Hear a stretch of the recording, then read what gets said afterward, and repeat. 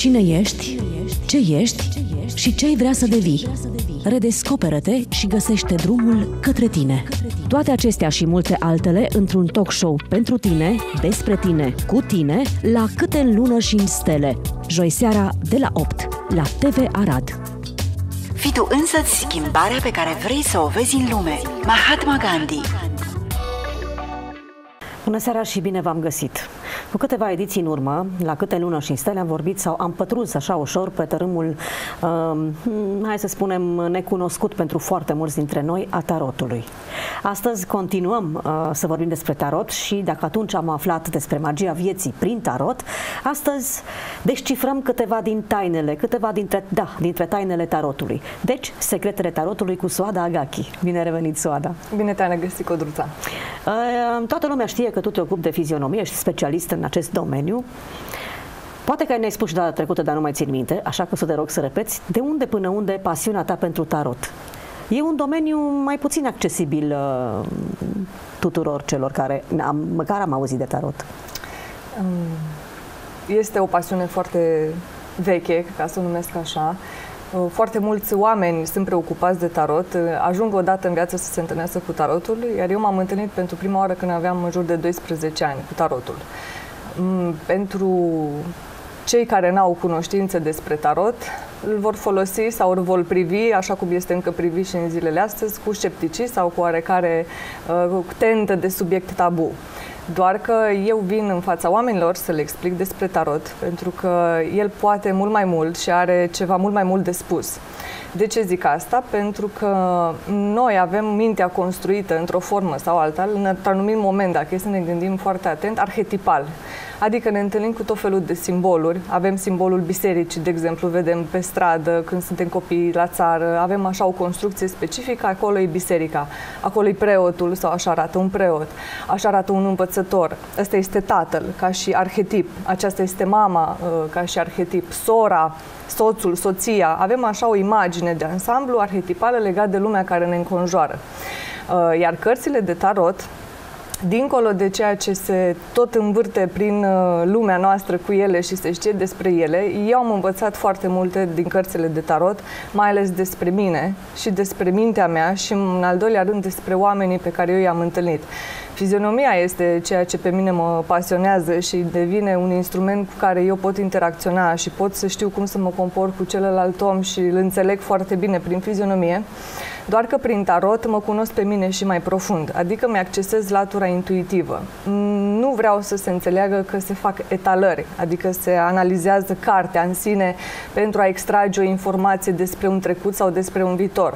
Tarotul este folosit pentru a te înțelege pe tine în aici și acum, adică în prezent. Iar când aveam 12 ani, prima și prima dată când am văzut cărțile de tarot, mi-au fost puse, să zicem așa, în față, uh, mai mult pentru a vedea partea uh, cealaltă cealaltă sau persoana respectivă ce fel de reacție am asupra unor imagini. Ele, când te uiți așa, pur și simplu, sunt niște bucăți de carton pe care sunt niște picturi desenate acolo. Și ele n-au nicio valoare, dacă e să o luăm așa, doar pentru că este o bucată de hârtie tăiată de drept unghiular și sunt niște imagini pentru care oamenii stau și se gândesc așa cumva mai mult ce anume există acolo și cum anume poți să vezi viitorul, că pentru asta au fost folosite. Tarotul este ridicat la nivel de artă sau la rang de artă și mai mult decât atât este un instrument uh, pentru a-ți dezvălui laturile tale renegate sau dorințele cele mai ascunse sau hai să numim așa blocajele. Iar pe mine m-a ajutat enorm de mult tarotul în prezent și mereu în momentul prezent, atunci când mă uitam peste o imagine, ca să înțeleg foarte clar de ce îmi displace, spre exemplu, sau de ce îmi place o anumită arcană. Arcană însemnând o carte. Uh, ca traducere, și am spus-o și în emisiunea cealaltă, arcan înseamnă taină. Da? Aceste cărți de tarot, ele au fost pictate de foarte mulți ani, undeva de prin secolul 13-14, istoric, nu prea știm exact uh, cine le-a făcut, cine le-a reprodus, cine le-a făcut în felul acesta. Uh, și până în zilele noastre nu știm cine este autorul. Da? Oamenii au tot vehiculat, sub orice formă le-au răsturnat ca să găsească utilitatea lor până au ajuns la ideea de divinație. În România încă este un subiect uh, legat de tarot axat doar pe divinație. Ceea ce eu vreau să înștiințez sau să informez publicul larg este că tarotul nu este făcut sau scopul lui nu a fost făcut pentru divinație. De asta sunt fer convinsă, tarotul vorbește doar despre tine, foarte adânc și despre prezentul tău. Acum, că oamenii vor să facă mai mult sau că se poate, asta este dacă vrei farmecului, omul e liber dacă vrea și în pietre să-și înțeleagă viitorul, dacă vrea din nord, dacă vrea din orice fel de mijloace, până la urmă omul dacă o caută găsește, da? Pentru că ele au inscripționate foarte multe simboluri în interior și mai mult decât atât arhetipal. Noi, cum am spus de la bun început, suntem construiți ca ființe umane să înțelegem foarte bine societatea în care noi trăim și ni se spune de când suntem copii mici, ea este mama, de ea trebuie să ascult, ea este învățătoarea, nu este ca o mamă, dar de la ea vei învăța altceva decât ai învățat de la mine. Și uite așa, încet, încet, acestea sunt doar câteva exemple, oamenilor li se dau anumite informații, simboluri, roluri, să zicem așa, prin care să identifice modul cum ei pot să se raporteze vis-a-vis de realitatea care îi înconjoară. De exemplu, uh, când mergi într-un parc de distracții cu un copil, spui, uite aici copiii se joacă, da? roata aceea pe care se învârt uh, oamenii, da? Acolo este un loc de distracție, unii urcă, alții coboară. Și uite, când ne uităm pe cărțile de tarot, făcând așa o paralelă, întâlnim toate aceste imagini arhetipale din copilărie până la bătrânețe, inserate și, să zicem așa, sigilate în aceste cărți um, omul de rând, să zicem așa, dacă se uită la ele, o să caute tot felul de semnificații, să afle ce a pățit, cu cine se căsătorește, fel și fel de lucruri. Doar că ceea ce vreau eu să atrag atenția este că el poate enorm de mult. Nu asta, este așa pentru oamenii care se numesc neinițiați. În jurul nostru sunt toate simbolurile din tarot, în jurul nostru, chiar și în acest platou sunt simboluri din tarot. Și uh, la ce te ajută până la urmă această metodă? În momentul când înțelegi ce înseamnă fiecare desen, pentru că cei care au pictat aceste desene într-o ordine specifică au arătat foarte clar construcția minții umane, este, dacă vrei, așa un fel de hartă specifică, arhetipal vorbind, despre mintea umană sau construcția minții umane. Chiar și psihiatru Jung a studiat arcanele din tarot și foarte mult a vorbit și el despre uh, aceste arcane și cât de profund poți să ajungi să-ți înțelegi mintea sau propria ta minte. Și atunci am ales să vin să le arăt oamenilor cum anume pot folosi ei tarotul altfel decât el este văzut în lumea largă. Uh, cel puțin în alte țări, făcând așa o comparație, oamenii au ajuns atât de departe să dezbată. Uh, au fost băgate și introduse și în filme tot felul de imagini arhetipale din tarot, încât omul poate nu-și dă seama, dar are o influență asupra sa acea imagine. Îi trezește o amintire. Și atunci aceste arcane sau aceste cărți sunt desenate ca să trezească ceva în tine. Sau să-ți dai seama și mai mult despre tine în ce moment te afli tu astăzi și cine ești tu astăzi. Iar în interacțiunea mea umană vis-a-vis de ceilalți oameni, pe lângă faptul că eu analizez după fizionomie, cunoscând foarte bine tarotul, mă analizez pe mine, pentru că pe mine n-are cine să mă analizeze, să zicem așa. Eu mă autoanalizez, să zicem, după uh, fizionomie sau după tehnicile de citire a chipului, dar mai mult decât atât știu că pot să mă cunosc mai profund pe mine, în felul meu de a fi cum sunt, repet, în acel moment, de exemplu, astăzi. Și atunci, cunoscând și studiind foarte mulți ani, așa să zicem autodidact, pentru că asta nu m-a învățat nimeni și am căutat eu să citesc și să învăț foarte mulți ani, uh, am găsit foarte multe mesaje, să zicem așa, despre lumea care mă încojoară, doar cunoscând. Spre exemplu, nu trebuie să ai la tine cărțile de tarot, uh, nu trebuie să le cari după tine, uh, nu trebuie să le scoți ca să te uiți la ceva, va trebui doar să le memorezi. Sau imaginile, în primul rând, să le memorezi. Ordinea în care ele sunt desenate de către cei care le-au făcut și ca o scurtă paranteză, se spune că a fost undeva Uh, prin uh, zona Alexandriei, undeva în Egipt, câțiva înțelepți care s-au strâns la oaltă și când au aflat că vor dispărea informațiile care s-au strâns la vremea respectivă, s-au hotărât să încrusteze toată cunoașterea sau să sigileze sau să o păstreze, mai bine spus, sub forma aceasta. Uh-huh. Uh, ordinea în care le-ai pus tu acum e în funcție de cifre? Că văd da. că fiecare are câte o cifră. 1, da. 2, 3 și așa mai departe. Am da. înțeles. Uh, și dacă vrem să aflăm ceva despre noi da. în momentul prezent, cum facem? Ne uităm da. pur și simplu, adică mă uit aia o cărți și uh, care mi-atrage privirea sau care, de care sunt atrasă pe aia o aleg și aia poate să spună ceva despre mine? Asta, da, ca să uh, continui ideea până la capăt, asta legat de partea istorică, omul dacă vrea să le folosească altfel și anume foarte interesant uh, prin această variantă, memorează imaginile, da, odată, ordinea în care ele sunt pictate de către cei care le-au făcut uh, și mai mult decât atât, cifrele și denumirile care apar la fiecare arcană. În momentul când tu ai cunoscut ordinea lor și cunoști și simbolurile din interior, adică ce înseamnă fiecare carte, pentru că există uh, cuvinte cheie lăsate de către cei care le-au uh, săvârșit, să zicem așa, de acum câțiva ani, buni, uh, secole bune, automat când mergi pe stradă, e posibil la un moment dat să vezi un om care trece pe drum, care arată, de exemplu, cam așa, ca un ermit, ca un bătrân, cumva așa, care merge încet, se apleacă, se străduiește să ridice de pe jos un baston, care merge cumva posomorât, gândindu-se la ceva, poate chiar ține în mână, nu știu, uh, nu neapărat o lampă, hai să zicem o lanternă, sau își ține umbrela în mână, să presupunem. Și automat, când ție ți-a intrat în mintea ta simbolul acesta, omul deseori are și de cele mai multe ori o minte care într-una pune întrebări și vorbește o minte. Există mintea din spatele minții și încă o minte de a ta care tot timpul dezbate ceva. Și cunoscând acest simbol, în momentul când te-ai întâlnit cu un astfel de om pe stradă, ție ți-a venit tocmai un răspuns la ceea ce pe tine te frământă. Spre exemplu, dacă tu te duci pe stradă și te gândești, oare eu ce să fac, de exemplu, cu părinții mei? Să mă duc astăzi la masă la ei sau să nu mă duc la masă la ei? Să mă întâlnesc cu tata sau cu profesorul respectiv sau indiferent sau să nu mă întâlnesc? Și brusc în fața ta, l-ai văzut, nu că a apărut, el există, repet, simbolurile există, ai văzut acest domn care imediat l-ai asociat cu arcana numărul 9, numit Ermitul, cea pe care am arătat-o, și dacă ai în tine o trăire cumva așa de compasiune și îți pare rău, este deja un răspuns pentru tine că da, ar trebui totuși să te duci să te întâlnești cu acel om. Adică îți dezvolți intuiția, ceea ce depășește foarte mult, să zicem, inteligența. Este varianta scurtă.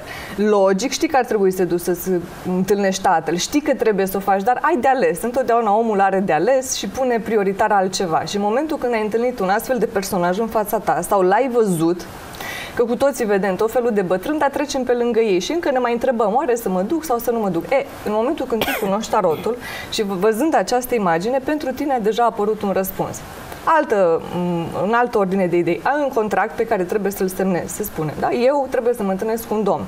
Trebuie să semnez un contract cu el. Și mă gândesc, de exemplu, Uh, dacă să o fac sau să nu o fac. Parcă mi se pare destul de parșiv acel om sau are ceva de ascuns. Eu l-am analizat după fizionomie să o luăm așa, că am știu ce-i poate pielea acelui om. Dar totuși trebuie să mă ascult și pe mine, mai dincolo de ce trebuie să fac acel trebuie, ce este necesar și corect să fac, nu doar trebuie. Și în acel moment, uh, văzând, spre exemplu, un moment în care doi oameni stau în față sau în fața lui și discută așa cumva aprins, Cunoscând ce înseamnă contractul, pentru mine, în acel moment, poate să-mi apară în cap imaginea aceasta, care este arcana numărul 15, care scrie pe el diavolul. Acum, oamenii se vor speria ce cu diavolul ăsta, că e altceva. Nu, diavolul în tarot înseamnă legături. Da? Se observă aici cum se leagă doi oameni de gât. Diavolul este reprezentarea omului seducător, cel care te seduce. Și în momentul când uh, ai desemnat un contract și ți-a trecut prin mintea ta o imagine sau observi cum acel om stă deja cu doi oameni de vorbă și cei doi se simt deja înlănțuiți și atrași de acel om, în capul tău a apărut această arcană și rămâne feeling-ul tău dacă să o faci sau nu mai departe și spui nu, stop, omul ăsta mi se pare deja că prea tare mă încarcerează pentru că așa arată în această arcană. Sunt aici desene cum cei doi sunt legați, uh, cum omul acesta are o față care privește, uh, să zicem așa, conci, cum se spune în popor, are o făclie în mână fiind simbolul pasiunii aici sau al vervei și atunci te mănâncă ca să faci chestia respectivă și uite, dacă ți-a trezit așa o stare mai ciudată, te gândești de dor dacă o să o faci sau nu. Nu există arcană pozitivă pur sau negativă pur. Ține foarte mult de acel moment când tu ai văzut acea să zicem, acel peisaj din jurul tău, în funcție de întrebări și imediat ți-a fugit gândul la o arcană. Și dacă tu în momentul acela te-ai gândit la acea arcană într-un sens pozitiv, mamă, ce interesant, uite, mi-a apărut arcana 15, e o legătură acolo, se face ceva, atunci poți acționa. Și dacă în același timp, în altă fază, ți-a apărut în mintea ta arcana respectivă sau ai asociat-o cu acea imagine și ți-a trezit un sentiment cumva de de incapacitatea de a ieși de acolo, cum arată și aici, atunci spui nu, trebuie să mă ascult și pe mine. Și asta este o variantă prin care se poate analiza tarotul. Dar, repet, ele, eu le-am memorat și le știu din cap. Spre exemplu, acum le dau în prima parte, să zicem așa, în această emisiune, cum se pot folosi ele. Nu se scoate, nu se etalează. Eu le-am înșirat aici ca să fie mie mai ușor să le arăt telespectatorilor și ca să fie învățate de către cei care doresc în ordinea în care ele sunt uh, așezate. Uh, spre exemplu, vezi un om care merge sau stă la masă, un domn pentru doamne, acum așa foarte impunător, elegant, scoate trabucul, aprinde, stă așa cu o cafeluță, îl vezi așa pedant. Și stai așa și te gândești, nu știu, oare cine o fi omul respectiv? L-ai analizat după fizionomie, să presupune, dar te gândești așa pentru mine, așa, eu ce sentiment am vis-a-vis de acest om? Ce trezește în mine? Că urmează să-l cunosc, spre exemplu, urmează să mi-l prezinte și brusc, dacă ești cumva conectat cu gândul la tarot sau te gândești să folosești în acel moment tarotul, îl poți asocia foarte ușor cu împăratul, pentru că aici în această fotografie sau în această arcană este desenat împăratul. Și aici este un domn care stă cu un sceptru în mână, care are la gât, eu cunoscând și ce înseamnă acea arcană. Dacă de-aia trebuie memorate pe lângă imagini și cât de cât câteva cuvinte cheie, îmi dau seama cum ăsta poate să fie destul de rigid, poate chiar îngânfat. Știu că mă voi apropia de el și va avea cumva poziția respectivă așa așezat pe tronul lui și ușor rece sau distant față de mine. Și atunci rămâne uh, la latitudinea mea să știu cum anume să-l abordez sau ce să fac mai departe, dacă are rost să mă implic sau nu. Asta este prima parte, să zicem așa, a acestei metode de a înțelege foarte clar simbolurile din jurul tău, pentru că ele, repet, există. Și nu avem, din păcate, foarte multe instrumente care să ne trezească intuiția. Iar tarotul este unul dintre instrumentele care te ajută să-ți auzi vocea din interiorul tău intuitivă care îți confirmă din nou, pe lângă toate calculele raționale, pe lângă tot ce trebuie să faci, încă o voce care oricum ea șoptește, doar că șoptește atât de încet încât trebuie să dai volumul la toate ca să auzi foarte tare. Și atunci tarotul ajută să mai dea la volumul încet la celelalte voci din capul tău, vezi că zice la ce o să zică lumea, de ce nu te duci, dar uite că așa ți-a zis, vine și îți confirmă, da, du-te, pentru că e acolo ceva ce te atrage sau nu când lucrez cu oamenii sau când le mai... Eu țin și cursuri despre partea aceasta de simboluri, pentru că oamenii n-au alt instrument prin care să poate să înțeleagă mult mai clar ce decizii să ia în viață. Uh, învățăm împreună și le arăt foarte frumos fiecare arcană ce înseamnă, uh, simbolul ei și mai mult decât atât, în primul rând îi întreb care arcană îi atrage cel mai mult. Spre exemplu, dacă aș sta cu tine la masă și aș scoate aceste cărți, le întind atât pe masă, nu le amestec niciodată, ele nu se amestecă, uh, în varianta care eu am învățat-o sau am înțeles-o, ele se așează în ordinea în care sunt și pictate și scrise și pun pe un om să aleagă această arcană care îl atrage cel mai mult nu am menționat dacă pozitiv îl atrage sau negativ îl atrage. În momentul când el, să zicem, ia arcana aceasta, numărul 6, îl atrage această arcană. Deci îmi place foarte mult cartea asta. Nu știu ce înseamnă. Nici nu trebuie să știe ce înseamnă. Și îl întreb, îți place sau îți displace după ce a luat-o? A, păi tocmai ți-am spus că îmi place. Bun, deja știu ce anume, ce dorință are acel om în acel moment. Uh, dorințele lui, fiindcă arcana care îți place arată ceea ce tu îți dorești foarte tare, dincolo de tot ce tu spui, vorbești, acționezi în viața de zi cu zi, dorința cea mai arzătoare. Iar arcana care nu-ți place arată foarte clar ceea ce pe tine te blochează în acel moment. Pur și simplu nu-ți convine. Spre exemplu, sunt oameni care la nu se le plac arcana 15, că sunt destul de mulți, sau arcana 13, care se numește arcana fără nume, Uh, în alte cărți de tarot e numită moartea, dar aici se numește arcana fără nume și a tăiat propriul nume. Ea este nenumită, să zicem așa, nu are voie să fie numită. Dar uh, sunt oameni care nu le place, altora le place. Dacă nu-ți place, înseamnă că tu nu trăiești cu adevărat viața sau te temi foarte tare să elimini din viața ta, așa ca și cum ai lua și tu propria ta secure, uh, sau ce vrei tu, un, o coasă. o coasă și ai tăia instant ceea ce deja de mult este mort în viața ta. O relație toxică, o idee care o ții, niște principii care te intoxică, viciile pe care tu le ai. Și dacă nu-ți place când te uiți la această arcană, înseamnă că în tine există încă dorința de a te lega de ceea ce deja este, repet, mort. Mort, adică nu te ajută, nu te hrănește, este bine să-i, să lași în urma ta. Sunt altora care le place. De exemplu, eram în Egipt și mă întâlnisem acolo cu un domn într-un magazin și tocmai le explicam că am vrut să fac o cercetare și în alte țări ce fel de uh, reacție au asupra lor dacă este universal valabil uh, desenul de aici și mi-am confirmat de multe ori că da, nu contează nici cultura, nici religia, nici nimic. Oamenii când au văzut-o și când omul s-a uitat la această arcană, zic alege o arcană și a ales exact arcana 13. Și l-am întrebat, de ce ai ales-o, fiindcă îți place sau nu-ți place? Zice, păi chiar îmi place. Și îl întreb așa, care e viața ta? Ce planuri ai? Păi zice, uite, vreau să mai îmi deschid încă un magazin și nu știam, nu știu ce să fac, dacă să mi-l deschid sau nu. Uh, am așa o teamă, să-l închid pe acesta și să-l deschid. Și zic, tocmai acum mi-ai arătat sau subconștientul tău ți-a arătat că e bine să elimini, să închizi sau dacă vrei să începi ceva nou, mai departe. De ce? Pentru că eu cunoscând ce înseamnă lui plăcându-i această arcană, deja creierul lui a decis de mult că va deschide un magazin, dar că încă amână. Da? Este ca și în testele acelea de proiecție, cu cerneală în care tu vrei să înțelegi ce e în mintea acelui om. Că omul conștient încearcă să blocheze ceea ce subconștientul de mult a decis și atunci această metodă pe care eu o prezint arată foarte clar ceea ce de mult creierul lui s-a decis să facă, doar ca mână. De exemplu, cel care a ales alcana numărul 6 și a spus îmi place așa de mult uh, și, spre exemplu, are soție, da? sau poate are femeia respectivă un soț. Aici se observă că sunt două personaje și un om în mijloc nu știm dacă îl trage pe celălalt, dacă îl împinge, este o dinamică a mâinilor destul de interesant desenată, încât fiecare om care o privește va vedea altceva. Un om observă că este atras de o personaj din dreapta, celălalt care se uită la arca, aceeași arcană va spune nu este, celălalt îl trage.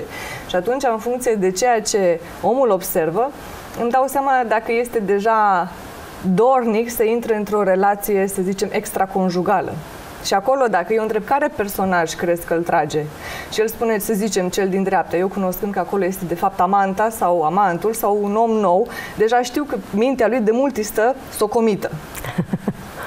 Dar el încă nu-i decis. Dacă îl întreb, tu vrei, oh, păi nu, nu, dar undeva știi așa în cap cât de mult se gândește să o facă, dar nu-i decis. Dar dacă i-a plăcut, deja urmează Uh, nu știu, într-un procent destul de mare să și comită acel act în sine de, eu știu, de adulter sau să meargă cu o altă femeie sau cu un alt bărbat, depinde de cine a atras această arcană.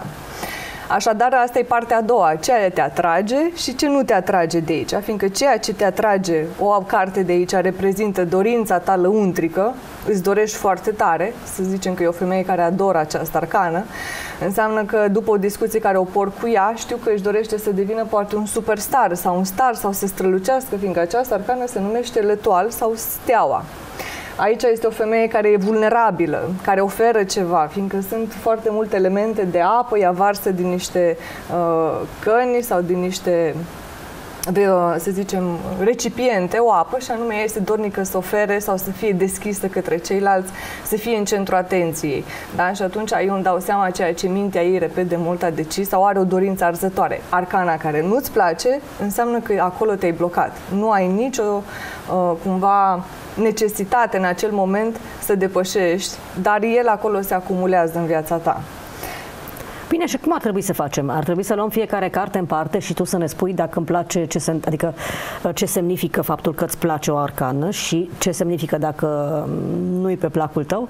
Sau asta, e prea mult, e prea elaborat să luăm este, așa? Nu, este elaborat. Asta ar însemna doar așa să faci o introspecție tu cu tine, de sine stătător, măcar după ce cunoști ce înseamnă fiecare arcană simbolic, da? Simbolic ce înseamnă? Ce înseamnă cartea aceasta judecata, ea în sine, ea de sine stătătoare, ce vrea să simbolizeze? Aici este un înger care uh, suflă la o trompetă, aici sunt doi oameni de culoarea pielii și aici este încă un omuleț de culoare albastră, pielea lui albastră. Ce înseamnă această arcană soadă, da? Dar important este, măcar înainte, să nu cunoască simbolul ce înseamnă, ci să aleagă ce îi place, și să aleagă ce nu-i place. Și apoi, după ce cunoaște simbolurile sau începe să le învețe, își dă seama că în acel moment el avea o atracție sau o dorință și nu avea. Eu, după ce le cunosc, sau cel care le studiază, după ce le cunoaște, poate să le ia așa rând pe rând să zicem astăzi, îți notez într-un agent, într-un jurnal.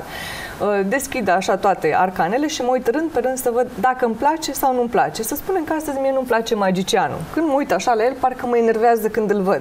Și pentru mine deja un semn de întrebare, de ce mă enervează? Că eu și știu ce înseamnă magicianul. Și magicianul înseamnă omul care vrea să întreprindă ceva nou. Un om care gestionează cu mâinile sau face ceva cu mâinile lui ceva nou. Este un nou început. Arcana magicianului este notată cu numărul 1 și asta înseamnă un început. Uh, se studiază și direcția privirii, și anume dacă se uită în partea aceea, nu știu cum vor vedea telespectatorii, înseamnă că se uită spre trecut. Dacă se uită în partea cealaltă, înseamnă că se uită spre viitor, arcana respectivă. Și atunci, în momentul când eu mă trezesc față în față cu ele, fiindcă ele reprezintă o oglindă a mea și mă întreb de ce nu-mi place, înseamnă că în momentul prezent, eu nu am nicio atracție să încep un proiect nou. Pur și simplu îmi displace. M-am blocat acolo că este necesar și mă uit la arcana care îmi place. Și atunci, dacă eu aleg în cartea, în ziua respectivă și am decis, mai mie așa de mult parcă îmi place astăzi această arcană și cunoscând ce înseamnă, temperanța este aceasta, are numărul 13, ea reprezintă ca simbol uh, ideea de a te de a fuziona trăirile din tine cele pozitive cu cele negative să le fuzionezi sau să le uh, îmbini uh, și să devină una și aceeași. Înseamnă să te împaci tu cu trăirile tale și negative sau frustrările tale și cu cele pozitive, să ți le accepti, indiferent uh, ce reacție au cei din jur. Și atunci această dorință sau această plăcere de a privi această carte, mai ales că aici pe piept este ca o mână care stă așezată pe pieptul temperanței, are și aripi, înseamnă că undeva în mine și împărțită și în două, în roșu și în negru, destul de clar, în mine trebuiesc aduse împreună părțile reci sau fierbinți, aduse împreună pentru a crea această alchimie.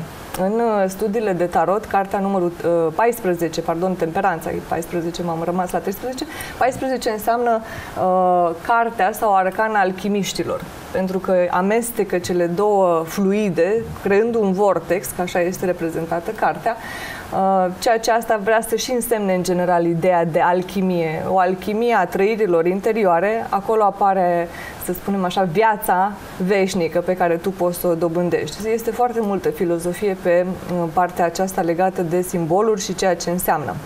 Acum, ceea ce vreau să le spun încă o noutate sau să le luăm așa puțin uh, altfel, eu am scos aici pe masă doar cele 22 de arcane majore un pachet de cărți de tarot. Tarotul de Marsilia este cel pe care eu îl prezint aici. Există enorm de multe de, uh, cărți de tarot. Tarotul de Marsilia are un număr de 78 de cărți, care este împărțit în două. În arcane majore, în număr de 22 de cărți, care sunt acestea de pe masă, și arcane minore, în număr de 56, pe care le-am lăsat separat. Acelea le vom discuta poate în altă parte, fiindcă e foarte mult de povestit cu ele. Și atunci aceste 22 de arcane, ele sunt numerotate de la 1 până la 21. Atât. A 22-a carte este nebunul sau lemat, mai bine spus matul, pentru că în alte cărți o să scrie nebunul sau dăful, în alte pachete de cărți de către alți autori. Eu folosesc tarotul de Marsilia pentru că este presupusul pachet de cărți cel mai vechi care a apărut sau primul care a apărut, primele desene, după care s-au pictat și celelalte care au apărut ulterior. Și atunci acest lămat nu are număr, nici măcar zero nu are pe el notat. Este cea de-a 22-a arcană din cele majore.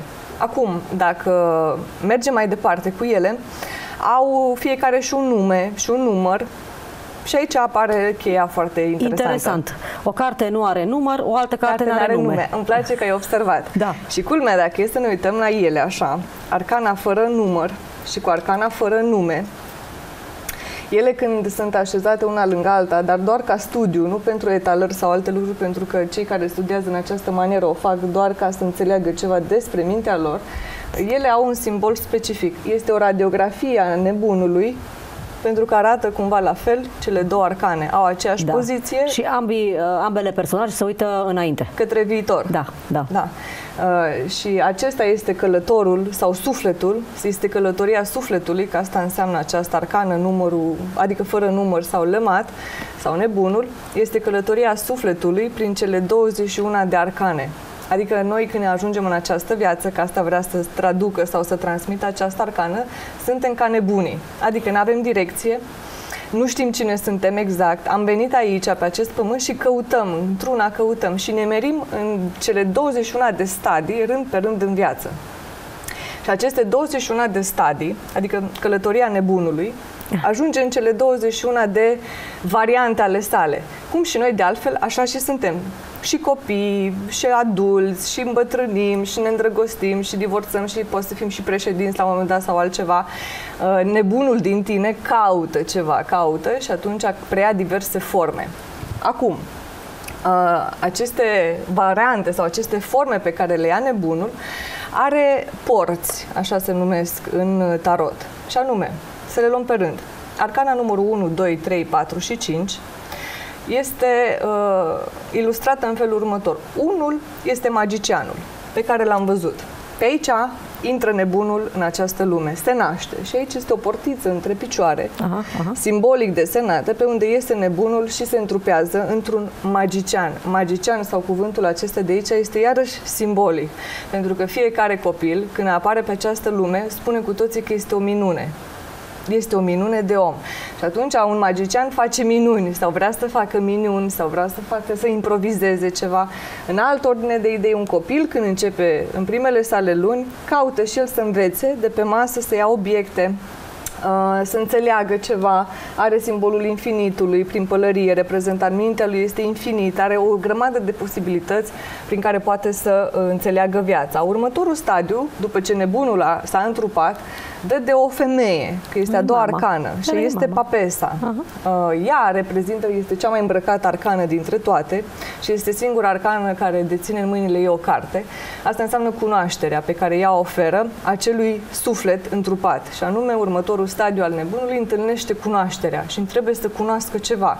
Iar uh, ea tot spre trecut privește. Personajul de aici iarăși poate fi analizat foarte mult, pe care o să-l menționez imediat mai târziu, ce anume putem mai mult. După aia se întâlnește nebunul și cu împărăteasa. Sau noi ne întâlnim, mai bine spus, în viață și cu o ordine în acea mamă care ne crește și ne spune foarte clar. a, Până aici e limita, va trebui acum să nu, nu știu, pui farfuria așa. Ai învățat, ți-am spus din papesă ce trebuie să faci, aici trebuie să și execuți. Arcana numărul 4 este împăratul, care aici vine cu ordinea și cu disciplina. Adică dai și de o figură masculină în viața ta și aici poate să fie oricine arhetipal numit tată. Dacă e o femeie care se uită la televizor acum sau un domn care nu și-a cunoscut niciodată părinții, tot cumva în viață a întâlnit o figură autoritară ca un tată care i-a spus până aici, vino acasă, treci la ora respectivă. Vedeți, ele sunt și puse în ordinea aceasta de către cei care le-au creat, tocmai ca să uh, înțelegem că acesta este procesul prin care noi trecem prin viață, vrând nevrând, indiferent că ai crescut și în junglă să te naști, ca Tarzan, la un moment dat tot întâlnești o figură paternă și maternă și până la urmă o figură autoritară care îți zice până aici, nu știu, poate te-ai întâlnit cu cineva în pădurea aia care zice asta e teritoriul meu și asta face împăratul, spune asta e teritoriul. Arcana numărul 5 este reprezentat de papă. Și aici este un papă care are în fața lui doi discipoli și atunci înseamnă că noi ne întâlnim la un moment dat și cu învățătura sau cu o cunoaștere așezată de către societate. Pe lângă asta și cu o anumită credință, ca să o luăm așa. Această arcană poate fi interpretată și școala sau instituția unde este un tutore sau un om care îți predă ceva și tu stai și îl vezi așa sau îl venerezi cum stau cei doi discipoli acolo în fața lui și îl asculți, îi urmezi, să zicem, calea și învățăturile. Și în a doilea ordine de idei, fiecare dintre noi ajungem oricum să fim băgați într-o religie sau într-o credință. Ideea de papă nu se referă doar la catolicism, se referă e, universal valabil că este o figură care are un anumit nivel de cunoaștere elevat sau depășit de cele care implică norme, reguli ca și la împărat. Și aici apare prima poartă. Sunt cinci porți în tarot și anume cinci treceri prin care suntem cumva, sau nebunul respectiv, obligați să trecem prin viață. Vrând nevrând trebuie să trecem prin ele. Și atunci această poartă, cum a fost prima pe unde a intrat nebunul la magician, e poarta copilăriei și acolo a întâlnit aceste personaje în viața lui. Următoarea poartă se numește poarta către învățătură. Și ajungem într-un moment în viață, și asta e poarta prin care trecem toți, prin arcana numărul 6, unde scrie îndrăgostitul. Uh, adică este arcana alegerilor, se numește. Va trebui să alegem ceva. Spre exemplu, la ce școală să mă duc? La asta sau la asta? Va trebui să aleg, uh, nu știu, dacă să mă despart de mama sau de tata, dacă cumva divorțează. Este o arcană foarte grea. Adică, în momentul când ne întâlnim în viață cu acest moment unde trebuie să alegem, nu știu, mă mărit cu Xulescu sau cu Xuleasca, mă duc la facultatea aia sau la aia, mă angajez aici sau acolo, deciziile sau alegerile sunt cele mai grele de luat. Și parcă așteptăm cumva să vină de sus, ca și în arcană, un mesaj divin, cum ne gândim, să ne îndemne cumva, să ne împingă să o luăm la stânga sau la dreapta.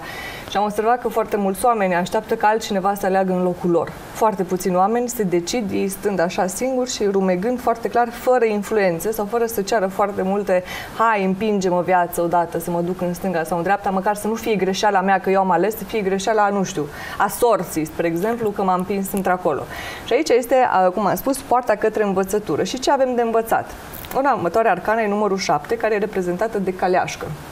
Și aici înseamnă omul trebuie să-și stăpânească trupul. Aici este un personaj care stă pe doi cai, care reprezintă instinctele noastre, să zicem, care trebuiesc um, ținute în frâu. Culmea că nu le ține în frâu cu hamuri sau cu hățuri, dacă ne uităm mai atent la această arcană, ci el ține în frâu proprii lui cai cu mintea lui. El nu are nevoie de hamuri ca să țină în frâu. Și ăsta este un mesaj, dacă vrei, sau o figură aici reprezentată, uh, prin care noi putem să înțelegem că după ce am făcut o alegere, va trebui să fim stăpâni pe noi, să ne canalizăm bine, pentru că dacă nu trag cei doi cai bine trăsura, ea poate să tragă un cal în stânga, unul în dreapta și trăsura se rupe. Chiar și într-o relație, e bine să ca amândoi să tragă la aceeași căruță, cum se spune, nu unul în stânga și unul în dreapta. Și atunci această arcană, după ce luată decizie, spune du-te mai departe și conduți propria ta caleașcă în viață, adică propriul tău trup, uh, cu foarte multă înțelepciune. Următoarea arcană, care este, face parte tot din uh, clubul, cum am spus eu, al învățăturii, este numărul 8 și anume justiția. Tot în viața noastră, după ce am, suntem stăpâni pe trupul nostru și pe mintea noastră, ne întâlnim și cu această, mm, acest moment și anume ce e bine, ce e rău, ce e corect, ce e incorrect. Spre exemplu, dacă ai mers cu viteză cu mașina, chiar și așa că spuse în ordine 7 și 8. Ai mers cu viteză cu mașina, dai de lege. Adică nu poți să sari peste o arcană, culmea, că sunt făcute în așa fel încât n-ai cum să sari. Dacă ai știut să conduci corect, legea te răsplătește. Uh, în altă idee, aici apare o balanță care o ține în mână o femeie. Dacă ne uităm mai atent, ea împinge cumva cu cotul această balanță, dar în mâna cealaltă ține o sabie. Și asta înseamnă că undeva această justețe sau să fii just va trebui să ții cont și de rațiune, dar și de simțire. Și unor ar trebui să o înclin puțin către simțire, adică către umanitate. Uh, rațiunea respectivă trebuie amestecată cu simțirea și simțirea cu rațiune, ca să nu te ghidezi doar după simțire. Și asta ne arată clar că e nevoie de această justețe.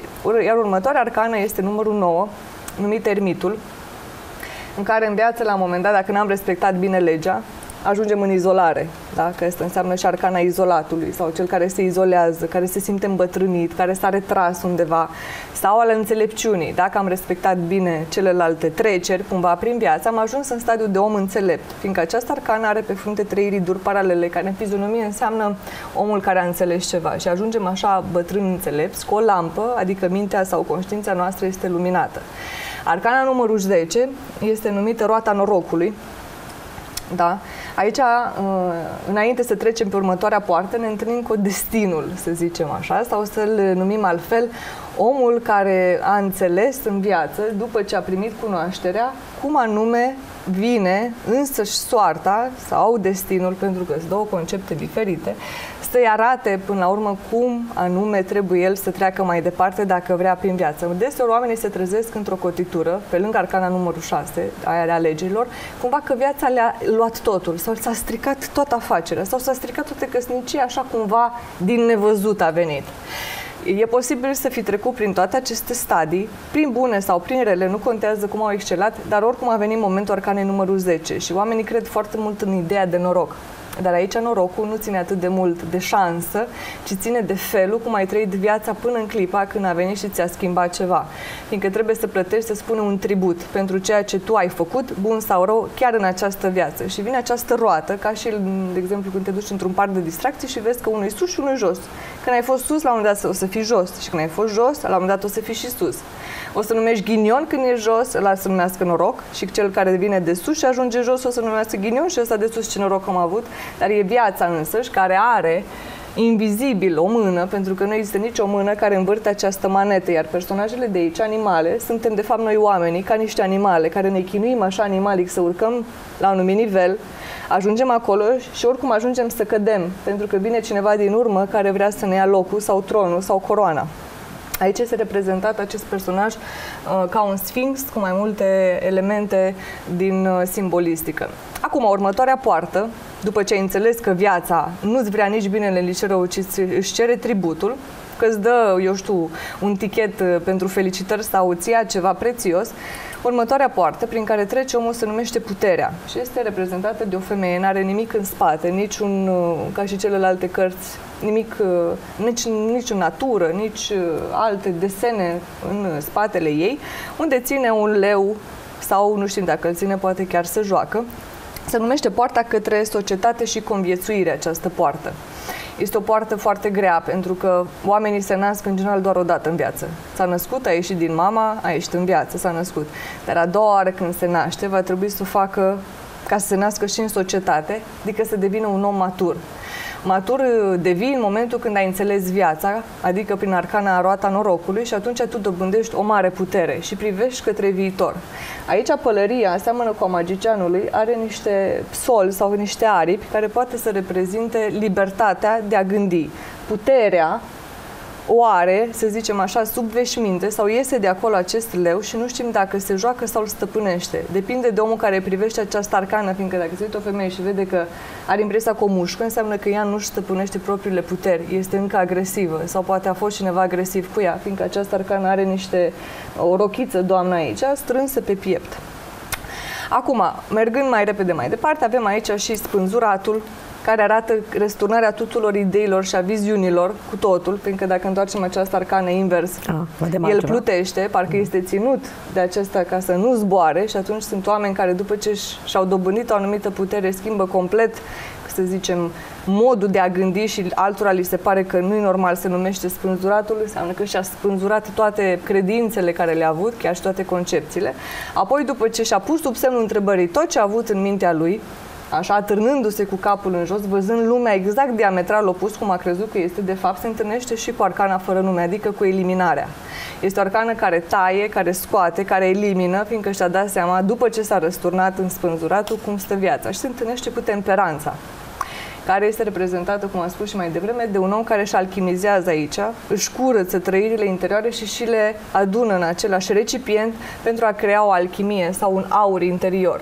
Și apoi se întâlnește, evident, cu seducția. Și un om va trebui în viața aceasta să înțeleagă că răul și binele sau diavolul este doar în el de cele mai multe ori. Omul este cel mai mare dușman al său și dacă nu-și cunoaște din tenebre cine este el, care e latura lui cea mai întunecată, el nu știe să, să, să-și stăpânească răul din el. Poate că a ajuns un om bun, pita lui Dumnezeu, cum numim noi, dar cu această arcană, când te întâlnești cu latura aia așa perversă din tine și știi cumva cum îți sucești tu singur mintea, numai ca să iasă, ca să ai dreptate, înseamnă că te-ai întâlnit cu diavolul și el este foarte fin ăla din tine, adică cu latura ta întunecată. Și următoarea poartă, unde te zdruncină din nou, se numește poarta către măiestrie, această poartă, adică prin această arcană cu toții vom trece, dacă am depășit celelalte momente, unde este reprezentat casa Domnului sau turnului, mai spune. Și este vorba tot de trupul uman sau de conștiința umană, unde vine tot așa cumva din exteriorul nostru sau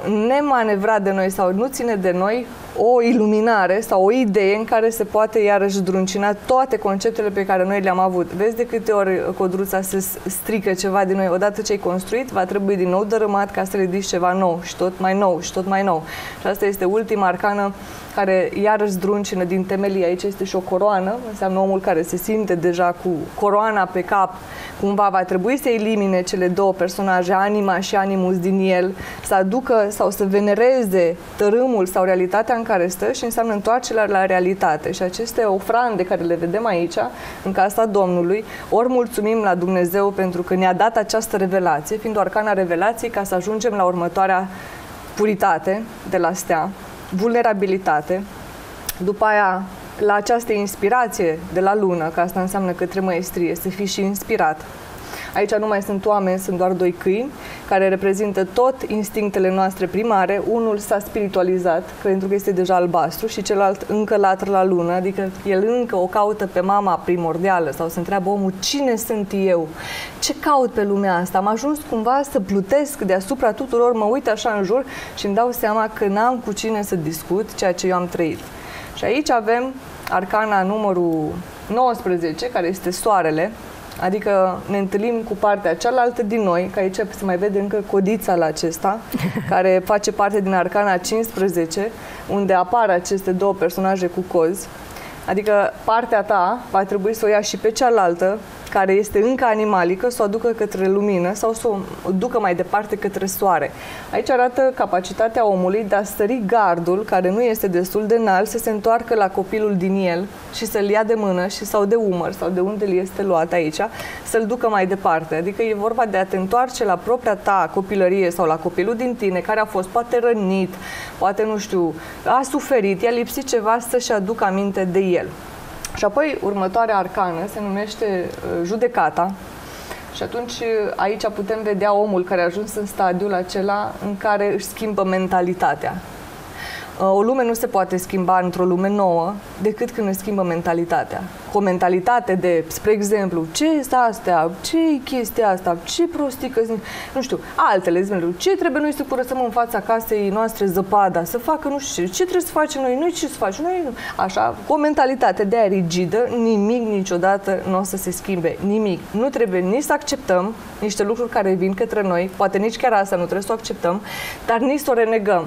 Și înseamnă omul care stă cumva smerit în fața unei noi conștiințe sau unei noi revelații, pentru că este de aici, din mormânt, un nou om care este albastru, care înseamnă că s-a născut un nou copil sau un nou om născut. Poate să fie, facă referire și cu secolul 20, pentru că se pot face asocieri și cu secole și cu ani. Uh, și ajungem în secolul 21, care înseamnă lumea, cum se poate naște o lume nouă și se numește poarta către înțelepciune, această poartă, este ultima, în care se naște această lume, ea este notată cu numărul 21, putem asocia cu secolul 21 dacă vrem, unde apare această femeie înconjurată de o mandrolă sau de o, cum îi spune, de o, ca și o, cum ar fi un, uh, o coroană, să zicem, împletită, foarte frumos, protejată și foarte simetrică această carte, reprezentată de cele patru elemente sau cele patru evanghelii, poate fi asociată, unde omul este desăvârșit și evident că va intra din nou uh, pe această poartă numită nebunul și din nou le ia de la capăt, poate într-o altă lume. Ceea ce vreau să spun, pe lângă aceste porți, vreau să le arăt oamenilor ca să înțeleagă foarte bine când încep să studieze tarotul Că așa se întâmplă și în viață și ele sunt pictate și ne arată clar stadiile. Tu poți să te identifici la un moment dat într-un stadiu al vieții tale, să spunem că ai acum o treabă cu justiția. Da? Trebuie să cântărești, să iei o decizie legat de acte, ce e corect, ce e bine, ce e just, ce e rău și atunci știi cumva că ești în acest moment. Pe lângă asta, ce vreau să le spun oamenilor este că ziua lor de naștere, ziua în care s-au născut, uh, are o corespondență cu arcana de aici. De exemplu, uh, eu sunt născută pe 2 august, da? Arcana mea corespondentă este arcana papesa. Iar arcana care are corespondență cu ziua ta de naștere, ea reflectă, să spunem, oglinda ta sau puterea ta. De unde poți tu să-ți iei puterile? Puterile ca să-ți dezvolți personalitatea. Atenție, doar personalitatea. Și atunci, eu pot, dacă mă studiez pe mine așa, din cunoaștere, adică din cărți, din o anumită evlavie, să spunem așa, dintr-o anumită smerenie pot să evoluez. Altcineva, că acum o să se întrebe oamenii, dar eu care sunt născută în 30 sau în 29, tot ce este până la ziua de 21 are o corespondență până la arcana 21, adică oamenii născuți în data de 1, 2, 3, 4, 5 până în ziua de 21 au o corespondență cu arcana aceasta, nu se adună nimic. Tot ce depășește ziua de 21, adică născut în data de 22, 23, 24 până la 31, cele două cifre se adună. Adică dacă e născut în 22, are corespondență cu arcana numărul 4, adică împăratul. Puterea acelui om, de unde poate să se adune, să zicem așa, să-și găsească din nou, armele sale, să zicem așa, secrete, stă în această arcană. Și atunci când se uită la ea, își dă seama, poate siguranța de sine, aici ar trebui să fiu mai sigură, poate că puterea pe care eu deja o am. Omul, dacă își studiază propria arcană, din când în când în viață și se uită la ea, își găsește din nou, cum se spune, puterea uh, născuți în 23, 24, 25, se adună, de exemplu, 24, 2 cu 4 e 6. Puterea acelui om este arcana numărul 6, da? îndrăgostitul. Uh, ultima, de exemplu, la tine, tu ești născută în 30, 3 plus 0 e 3, arcana ta este împărăteasa. Iar pentru cel din 31 născut în ziua de 31 este tot 4. Nu este nicăieri nebunul, s-a lămat pentru că nu are număr, da? Și atunci omul oricum s-a născut sub influența unui număr. Ceea ce este și mai interesant dacă se studiază la nivelul acesta tarotul, este entitatea care se creează dintre mine și acel om. Adică eu sunt născută pe 2. Tu ești născută pe 30, adică 3. 3 și cu plus, 3 plus 2 este 5. Adică, între mine și tine, când noi două ne întâlnim, apare așa cumva o nouă entitate numită sau un fel de stare care se creează între noi două de tip 5, adică de tip papă. Unul stă sus și celălalt ascultă. Adică nu vorbim niciodată deodată. Ai observat asta, Eu nu? ascult. Dacă tu vorbești, eu ascult. Deseori eu am vorbit mai mult și tu ai ascultat. Și asta am observat deseori și când mă întâlnesc cu moderatori de televiziune sau cu realizatori sau cei care portăm o discuție, ce fel de arcană se naște între mine și acel om. Pentru că în această direcție, unul primește cunoaștere directă, vezi aici, e un discipol care din sceptru este direct în mintea lui.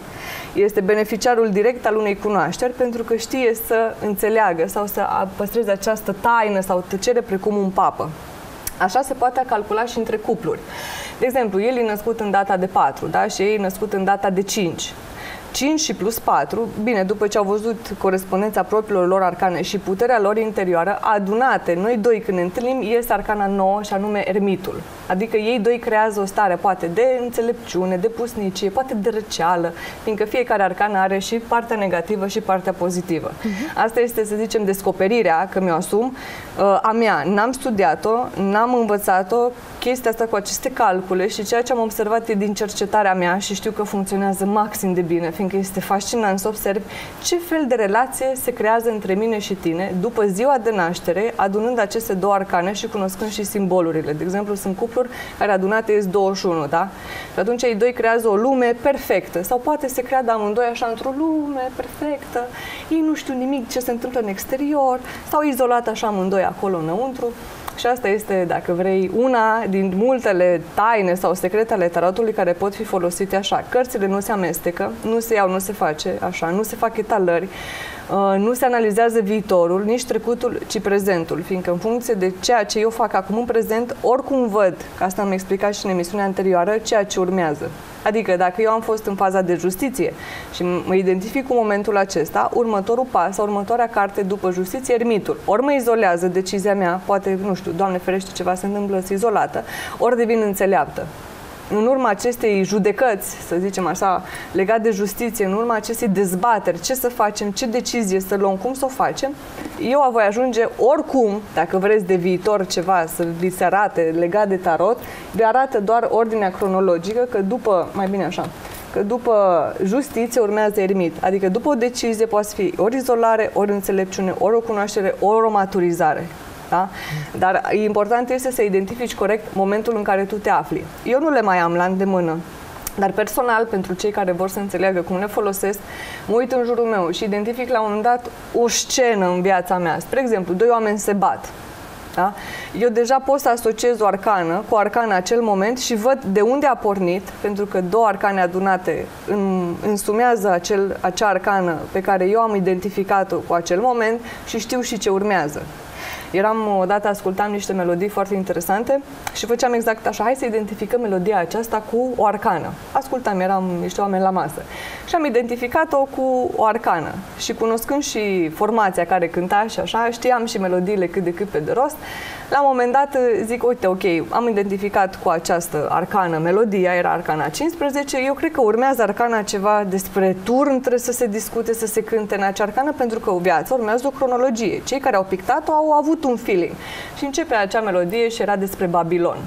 Ce tare! A fost foarte tare, foarte interesant acel moment, da, pentru că intuitiv cumva avea o legătură uh, și cu aceste cărți. Hai să te mai întreb ceva. Da. În afară de toate informațiile pe care ni le-ai dat astăzi, uh, dacă cineva mm, este foarte curios să afle mult mai multe detalii, unde le găsește? Eu țin cursuri despre simbolurile din tarot. Va fi în București acest curs. Uh, poate să găsească pe site pe www.soada.ro la secțiunea cursuri. Îl țin foarte rar. De ce? Pentru că mi este foarte greu încă în țară să vorbesc despre asta, fiindcă imediat este asociat cu altceva și vreau doar așa să le dau un mesaj oamenilor uh, să înțeleagă că se pot studia arhetipal, simboluri, pentru că ele sunt în jurul nostru și în filme și eu doar asta fac. Vreau omul, pe om să-l ajut să ia deciziile cele mai interesante legate de el, de sufletul lui, fiindcă acest nebun, da, să nu ia razna, are totuși o soluție sau un instrument în care putem asocia lucrurile din viața noastră, nu cu ceea ce ne-au învățat părinții, ci cu arcane, adică cu ceva neutru, nu ce mi-a spus poate mama, tata, societatea, că așa s-a întâmplat în trecut, că noi în general ne construim viitorul pe baza trecutului și a deciziilor. Uite, vine acest tarot care intră cumva peste acel trecut, acele influențe și zice, acum asociază-le cu mine, poți? Pentru că noi asociem, nu? Uite, am fost la Soada, am vorbit cu ea, o, asociez următorul moment cu Soada. Ce-ar fi să ne asociez cu Soada și să o asociez cu una din arcane pe Soada, să zicem? Și atunci altfel ă, te raportezi la acel om. Nu te mai raportezi la o amintire din trecut, ci la un simbol. Și atunci când tratezi viața în forma unui simbol, devine ușor, ușor cu timpul neutru și atunci te întorci la tine, nu la vocile celorlalți din jur. Și asta este scopul pentru care eu fac. Eu, îl repet, am învățat doar ă, prin cercetarea aceasta pe care o vedeam despre oameni. Soțul meu fiind numerolog, aflam datele de naștere, aveam fotografiile, vedeam cum arată omul în realitate, data lui de naștere și l-asociam cu arcana și cu fizionomia. Deci a fost așa o călătorie de câțiva ani buni, zic eu, că acum am 34 de ani, de la 12 ani în care le-am studiat pe drum și atunci am Care ales să le arcană ofer. crezi tu că se potrivește cu mine?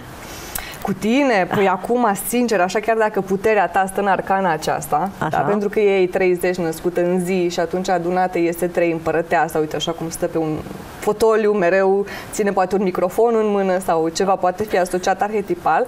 Acum, așa, în momentul în care tu te afli acum, eu te văd ca un soare. De ce? Pentru că te văd într-o uniune cu cineva, într-o discuție și ești foarte strălucitoare sau colorată. Și atunci sunt și culorile acestea și arzător și ești foarte vie așa ca femeie și foarte deschisă și foarte zâmbăreață. Și din toate arcanele este cea mai expresivă arcană și uite și împrăștie lumină în jur, culorile frumoase din părul tău. Deci eu zic că se potrivește foarte bine. Și uite, avem și următoarea arcană care putem să spunem ceva despre tine, ce anume către ce tins, nu viitor, către ce tins, către o nouă mentalitate, un alt om. Vrei să renască ceva din tine nou, vrei să scoți ceva din tine afară.